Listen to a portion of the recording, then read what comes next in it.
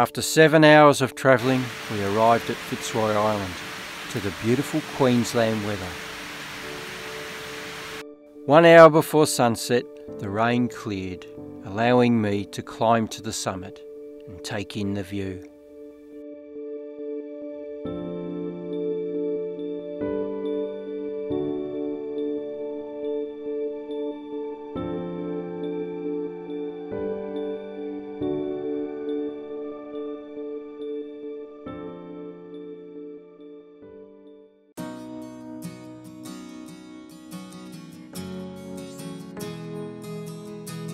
Following morning, I headed out to walk the circuit. First to the summit,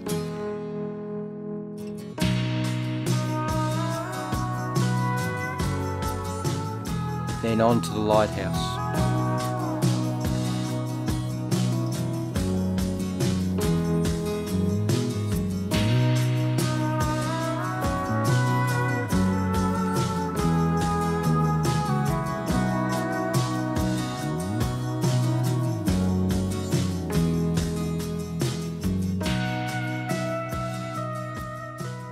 This is the most unusual lighthouse I have ever seen. It's covered in bathroom tiles.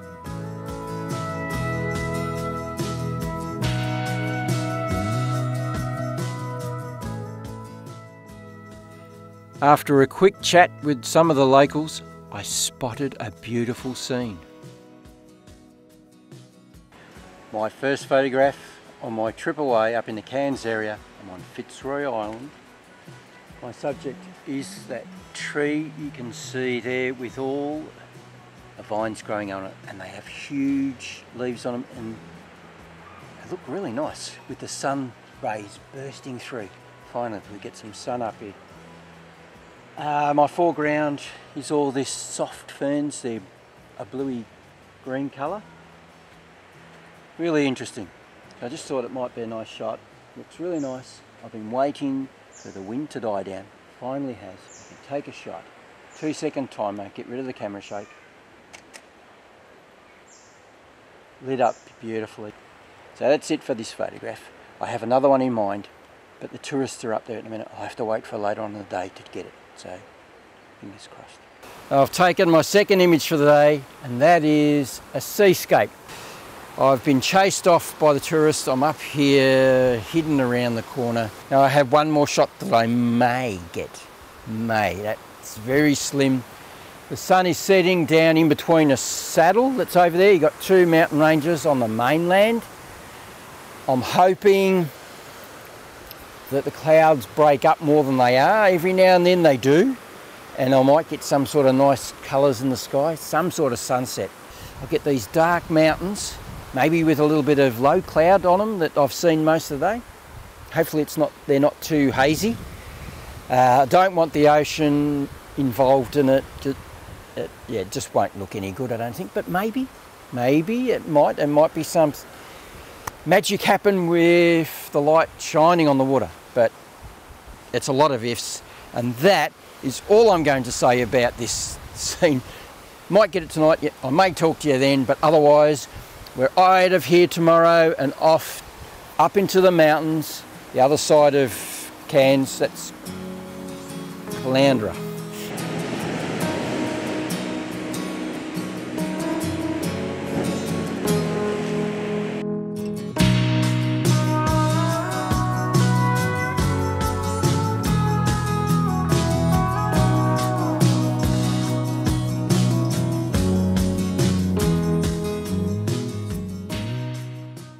Hi and welcome to Kuranda, up in the mountains above Cairns. It's dark and dim, it's so cloudy, but every now and then the sun comes out. Now, at the back of the caravan park that I'm staying in, walk down the track, cross the train tracks, down a very, very steep embankment, covered in plant life, lots of vines and stuff like that. So I managed to get down to the Barron River. I wanted somewhere where nobody else is going to go. No one to disturb me, no tourists. Nice little quiet spot, and that's exactly what I've gotten here. So the river's just over there, the main river. This is a backwash, which is made like uh, a billabong type place, and there's fish jumping everywhere. And I just plonked myself down for a few seconds. Thought, there it is, there's my shot. Landscape versus wildlife. Finally, I get a reasonable shot. It's not an outstanding shot, it's a good shot though, it's a keeper. Nice reflections in the water. That'll, that'll be a good one. Anyway, I waited for him to jump again. I was hoping, you know, when he went to fly, that I would get a shaft of light. But I was also hoping at that with that shaft of light that he'd come down and try and catch one of the fish that are jumping in this backwash here. But it didn't. He flew off. Anyway, that's all I'm going to say for today, I think. Although I will mention my Lowepro Whistler bag. Man, I have never had a bag that is so well balanced. Climbing up and down these steep cliffs here, call them a cliff, and on the hikes I've done it so far over at uh, Fitzroy Island, you don't get the bag pulling you backwards like I've had with every other bag. I'm loving this bag. It is so balanced, it so sits on your back so nice. Mate, I'll catch up with you later. I'll try and find some more locations as well as this one. This will be my morning one though. I'm hoping to go for walks into more rain-forested areas. Unfortunately, I couldn't find a track that suited my needs, but I did get my first photograph of a kingfisher along the Barron River.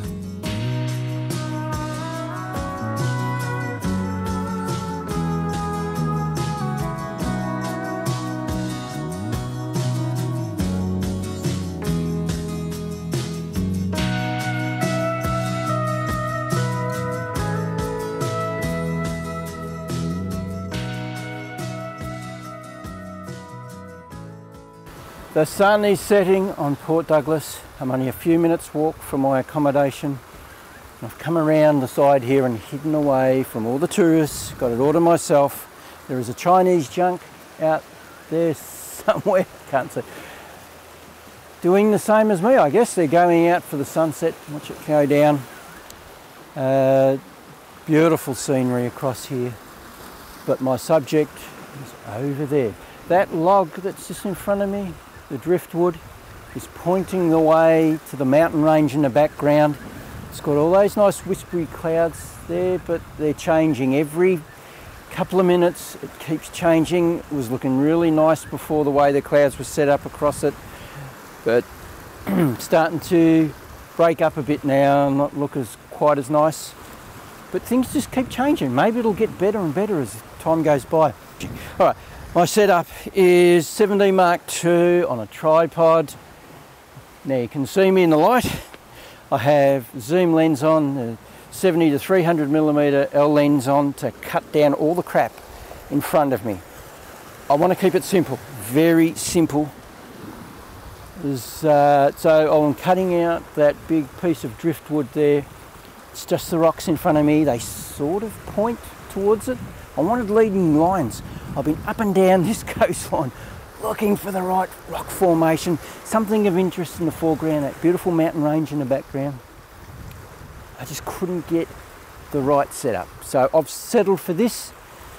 Fingers crossed everything goes all right. If it doesn't, I'll come back in the morning and try and get the sun rising. It may throw a lot of colour onto it. We'll see. The colour and the light didn't eventuate but I did get a nice sunrise the following morning. Then I moved on to a new location. Well, good morning, and it certainly is. We had a reasonable sunrise. There was a little bit of colour in the sky, but unfortunately, I couldn't get to this location that I'm at. I'm taking a shot of this beautiful little mangrove tree here in, the, in a little bit of a pond as the tide's gone out. So yesterday I came here and discovered it by accident because I was supposed to go to a different location up on top of the hill there. It is, there is a three hour walk, a torturous walk up steep terrain, but they tell me it's worth the climb. But as I was driving along, I missed a turn off, didn't see it, thought maybe I'd been driving a bit too long, I might pull over and uh, see if I can turn around. There was a little parking bay up here. There was two cars there. I was a little bit suspicious about why there would be two cars parked there in the middle of nowhere. Maybe there might be a track leading to the beach through the mangroves. And there was, to my surprise. I start walking through and I think, oh wow, this is amazing. There's opportunities everywhere for some great photography. Uh, there was uh, some tracks of people walking, had been walking through, but I couldn't follow them any further. They went through a deep, almost like a creek. It's a backwash of the, as the tide goes out, but it looks like a creek. And I couldn't tell how deep it was. I had my backpack on. I thought, no, I'm not doing that. So I continued walking around the outside and came across a guy called Wayne who is now about a mile up the beach that way this morning. He showed me the way. He said, go across, blah, blah, blah, and uh, you'll find an opening and uh, you'll get through. But there's a point back up that way, and you can see, and you can hear the cars, the highway. So I went up there and I took a shot of the sun rising, a little bit of colour, scenes, yeah, probably a little boring. it's probably not all that good. But anyway, I took a shot. I thought I'd wait out for the tide to go down, but then I saw uh, Wayne's car pull up. The tide was up, too high, and I started wandering through the water, and all of a sudden Wayne popped his little head up and helped me out again. So thank you, Wayne. Uh, he said, yeah, don't linger in the water there, mate there are crocs there. So he guided me across, and here I am. But it's far too late for the sunrise, unfortunately. But I have taken some good, reasonable shots. I love this pastely grey colour that you're getting. It's very subdued, very calming. Have had nice clouds coming across. They're gone now. The birds I've been watching out coming up close to me yesterday. I couldn't get anywhere near them, 30 metres away, far too far. There's a few hanging around here now uh, and more turning up. So I'm going to sign off for now and take some photographs of them.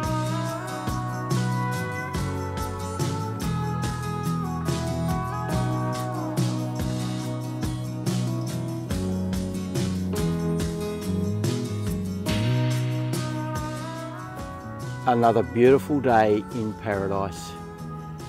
My third day in Port Douglas is certainly my favourite out of all the destinations we've been to. Now I'm back on the mangrove flats. I couldn't get in to the way Wayne showed me yesterday because the tide's up high. So I wasn't going to risk wading through and uh, getting eaten by a crocodile or getting my gear all wet. So I chose to hack through the scrub, made a trail so that I can find my way back. So just with my foot marking the ground, see, making arrows.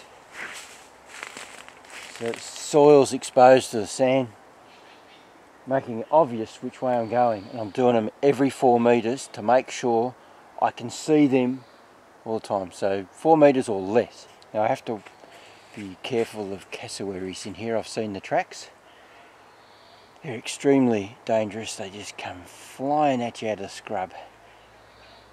And you just, you don't get any time to react.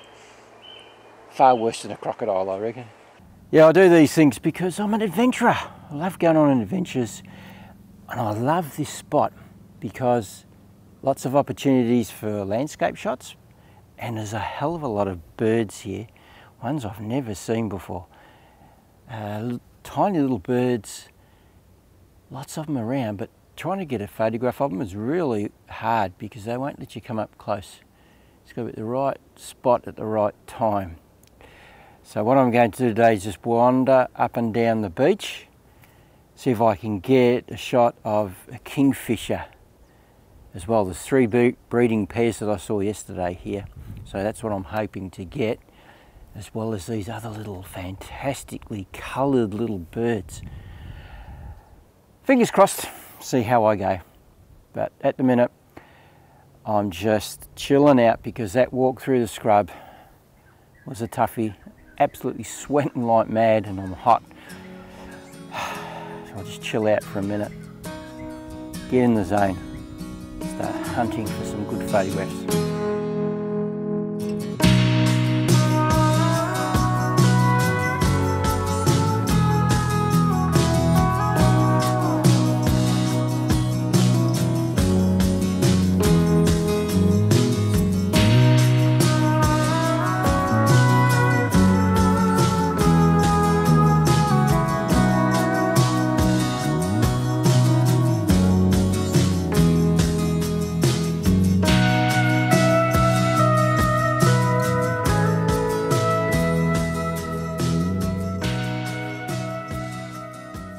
Welcome to my beautiful office. and I'm being serenaded by a spotted pardalote at the minute. It's looking for a spot to build its nest in the bank of the uh, creek here. All right, so it's time to rate my trip away. Marking each one individually as a combined score with my wife. So when we go away on holidays, we choose a destination that suits us both. And I'm sure that's how you do it as well.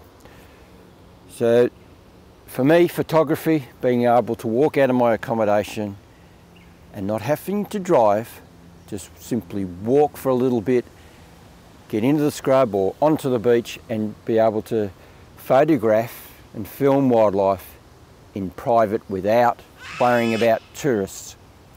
And for my wife, it's having a beautiful balcony where she can sit and read her book and then walk a short distance to the beach and do the same thing. And then being able to wander around the place, down the main street and have a look at all the shops. So it's going to be a combined score that suits the both of us and also the accommodation will be rated in that as well. So I'll be scoring them each destination out of 10 as a combined experience. First off was Fitzroy Island. Fitzroy Island gets a rating of 5 out of 10. We marked it down for the lack of sand on the beaches. It's mainly dead coral. It's not nice to walk on and it isn't nice to sit on. The building maintenance, some things haven't been fixed in years. The food was good but there was a lack of choice on the menu. My photography experience was low because most of the wildlife was close to the accommodation, making it hard for me to photograph anything with lots of tourists around. Kuranda gets a rating of 4 out of 10. Our accommodation experience was not very good, and the townspeople aren't all that welcoming. As far as photography goes, it wasn't a great experience for me, but I did take my favourite shot of the trip there, and that was of this pelican flying into a beautiful ray of light. Port Douglas gets a rating of 6 out of 10, by far our favourite destination. Easy access to the beach, shops, and abundance of food choices from takeaways to restaurants. Lots of shops to walk through, and the Saturday market is well worth a look. But unfortunately for photography, I had to drive to different locations to get any photographs of wildlife. So I've marked it down from 7 to 6. Well that's the end of this video and I hope you enjoyed me going on holidays and seeing what it's like around the place. Sorry I didn't do as much filming, b-roll and showing a lot more of the place than I should have done. I just enjoying being on holidays and uh, I just couldn't be bothered uh, doing all that stuff. Maybe next time. All right, that's all I've got for you. So if you'd like to subscribe, click on the subscription button down below and hit the little bell and you'll, you'll get notification whenever I do anything else. And if you'd like to have a look at all the crazy things I've been doing in the past, click on my icon down below, take it to my channel. Um, huge amount of stuff there. There might be something there of interest to you. I talk about photography stuff uh, you know, birds in flight flash photography and a whole host of other things. So go and have a browse. Yeah, there might be something there that interests you. Now just remember, if you don't do, you don't get. So get out there and start photographing and filming wildlife and I'll catch you on the next one. So yeah, have a look at the boats you can see around here. It's like an old Chinese, um, oh, I can't remember what they call them.